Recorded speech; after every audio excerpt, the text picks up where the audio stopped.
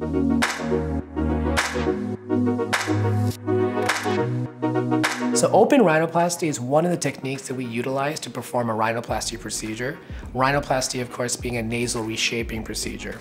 Um, open rhinoplasty versus closed rhinoplasty is the big difference is, is that open rhinoplasty utilizes a scar at the base of the nose. And this allows us as surgeons to elevate the skin and see directly what we want to do with the nasal tip and of course the bridge of the nose.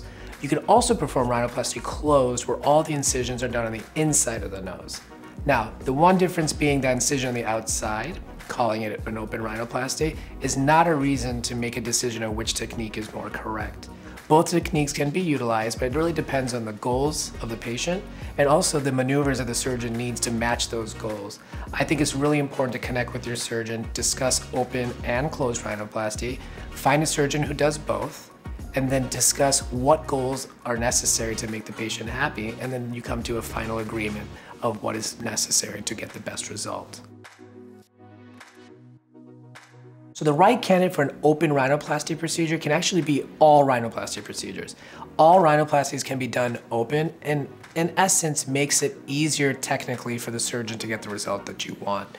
Specific that's important to open rhinoplasty would be complicated nasal tips, a revision surgery that has a lot of scarring, a reconstructive surgery, and also any type of fancy maneuvers that are necessary to make sure that we get the tip that you want during a primary rhinoplasty. So in essence, in summary, any patient is a candidate for an open rhinoplasty if choosing to move forward. There are certain noses that are actually okay to do closed, and that is more important to answer. If you have a rhinoplasty that you want to perform that does not have to involve much of complicated tip work or minimal tip work, a closed rhinoplasty is actually okay versus an open.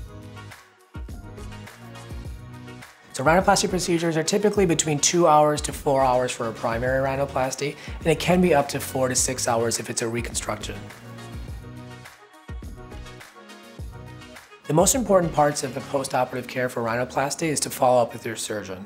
Each surgeon has different techniques of how they want to manage the care after surgery. Most importantly is management of the wounds uh, with an antibiotic ointment as well as a scar gel. Following up with your surgeon at the specified appointments to make sure the stitches are removed on time, the casts are removed, and to make sure that the healing process begins.